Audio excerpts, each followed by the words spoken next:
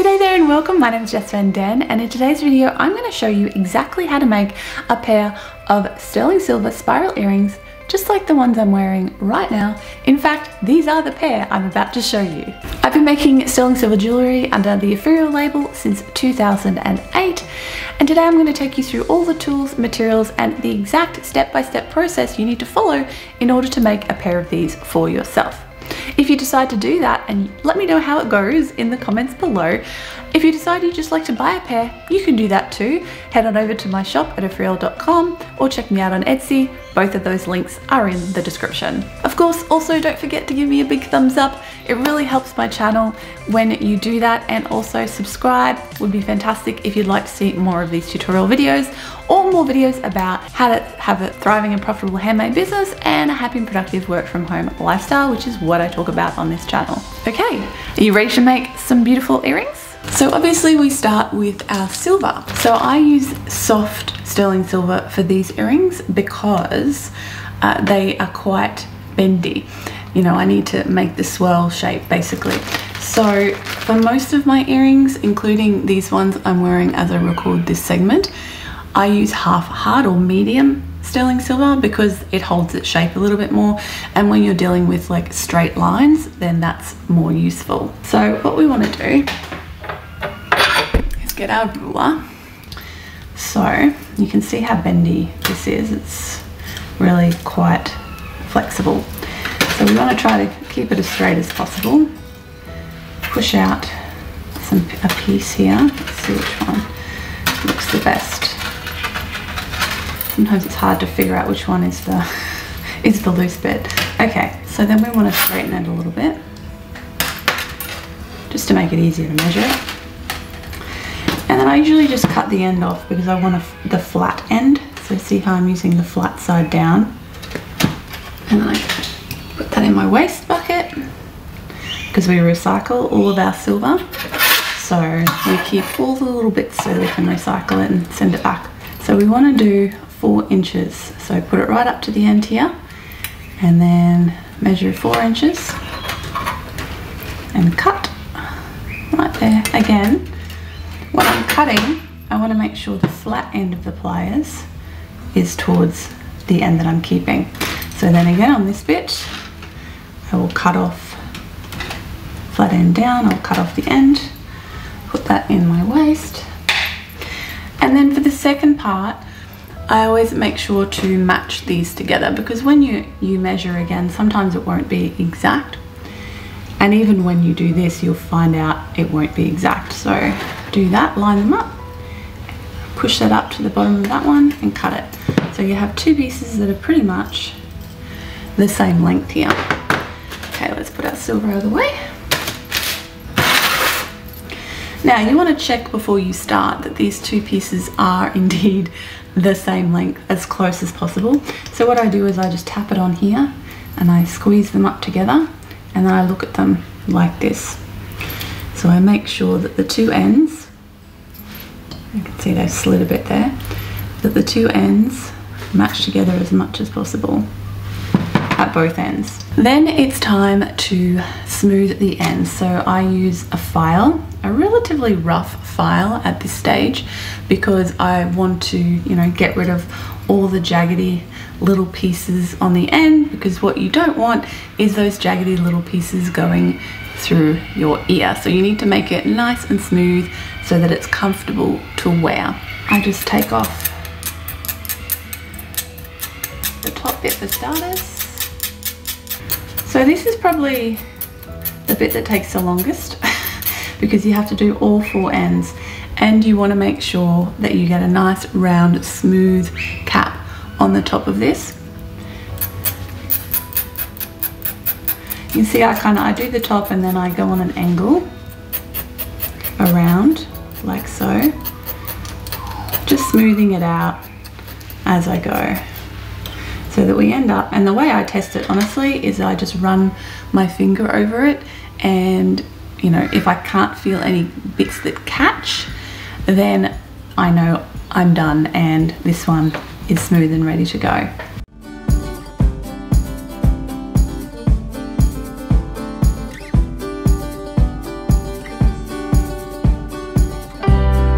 Okay, so we're almost done. I just want to give you another tip with this is I slowly spin it around in my fingers like this as I'm filing. And so that just kind of keeps it nice and even all the way around. Just wasn't sure if that was visible earlier. We've now got two pieces that are done and you want to check again that they're the same length because sometimes when you file them down they end up actually being slightly different lengths and you want them to be as even as possible so that the final pair of earrings are as same same as possible. The next step here is to make the shape of the spiral using the silver. So for that I need my round nosed pliers because that is what's going to give us the nice starting point. So I get right in there. And what I want to do is I want to I want to take it right close to the tip of the pliers. And then I want to see how there's a natural curve in the silver? I want to make sure that I follow that natural curve rather than fighting against it because you know it was in this nice big loop so we want to not fight against that natural curve we just want to go with it because we're making a curved pair of earrings. Okay so I'm going to take that and then I'm going to just make a small loop. Okay so step one is to make that initial loop and you want to make that reasonably tight. Okay then you want to keep going making the spiral from here so the idea is to just use the other end and slowly pull it around until you get the nice spiral shape. And this will take some practice. You know you might end up with a bit of a mess the first time you do it which is if you're making um, this sort of jewelry I always recommend that you buy some uh, brass or copper of the same dimensions so uh, one millimeter. And you can always experiment with that first. Now they're going to be a bit softer than silver so you know, just be aware of that although soft silver like this is similar so you can experiment and make designs in the much less expensive metals before you actually use the silver. So that could be a thing to do as well. I've made the loop. Now I want to do, what I want to do is this. So I'm just going to move this camera so you can better see what I'm doing here. And take this loop here and I'm going to hold it with my pliers and then I'm slowly going to spin it. And you can see how I'm slowly spinning it into that shape and I twist my pliers and then I spin it. And what I'm doing as I do this, I'm spinning with this hand, but I'm also gently pulling down with this hand, okay? So I'm kind of gently pulling this down while spinning with this hand, and that's what's gonna give me a relatively neat and even spiral. I just keep rotating my pliers around. Go more. Now you can see here I'm starting to go a bit off center, so I just even that up a little bit. So that you can see that there. And then continue with the spiraling.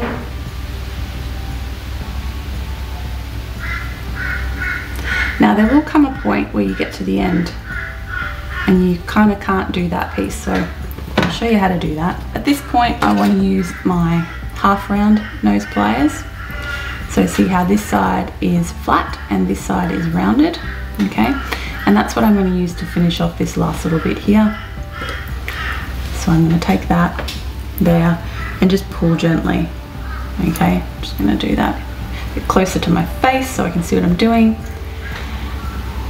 and you just want to make sure to gently shape it so that uh, this ends up being the same curve as the rest of the spiral. You don't want it to be different to the rest. And then at this point you can finesse it a little bit because it is quite soft right? So what you want to end up with is a nice neat tidy spiral that's nice and even okay so you can see that is pretty nice and even. So that's our spiral at this point. All right, so you can see I haven't done anything to it except shape it here. Now the next step of course is to make a matching spiral. so now this is going to be a bit difficult the first time because again you don't have the technique down but over time you'll be able to get there. And the hint is just to take it slowly and do the same technique that we did before. So we want to first of all put that make sure you're holding it in the same part of the pliers as you did before okay? And make that initial loop. And if you're not sure you want to check the two loops in the middle make sure they're the same size, okay? And then go through the process again, making the second spiral.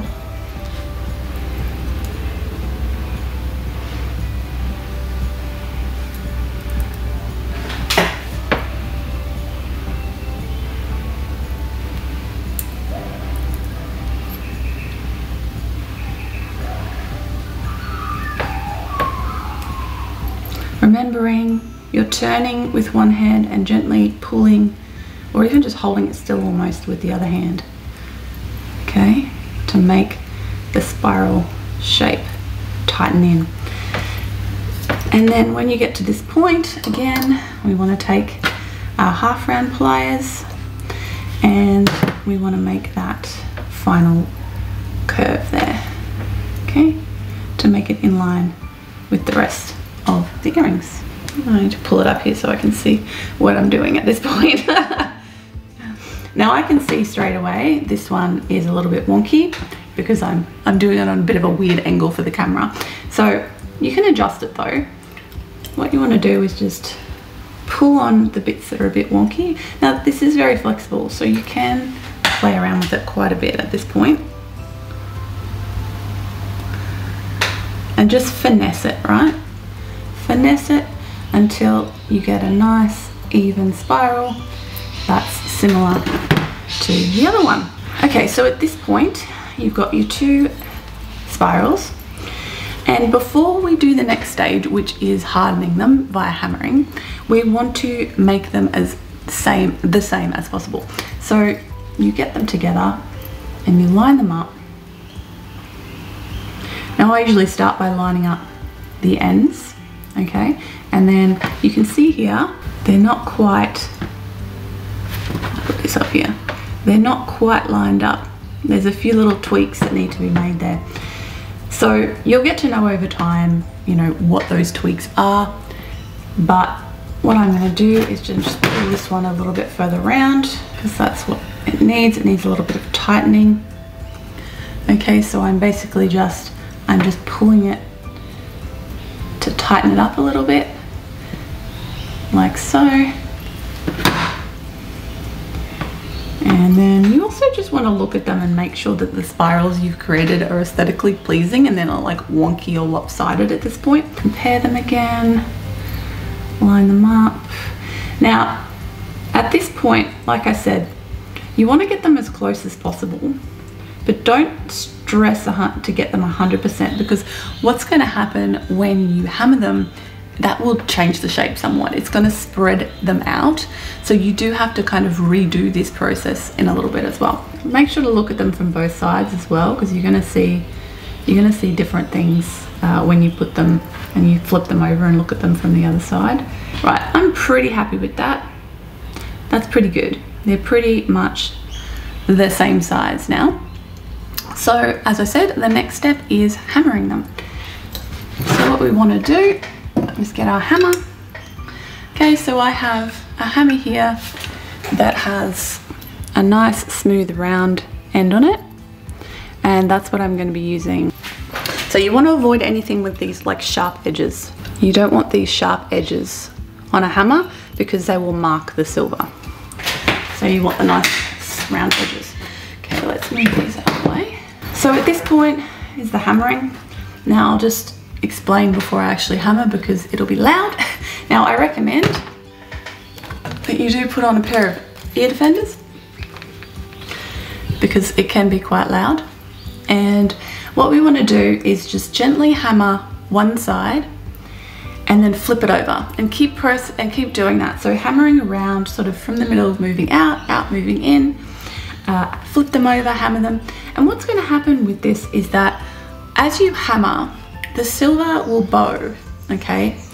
And so you have to use your the hammering on both sides to keep it flat. All right, let's go.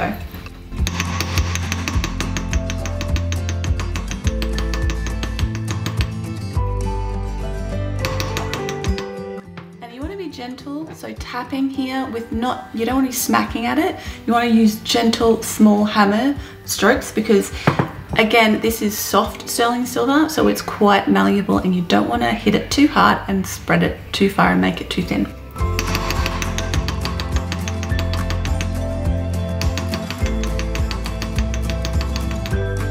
The point of the hammering is to harden the metal so that it will stay where you've put it.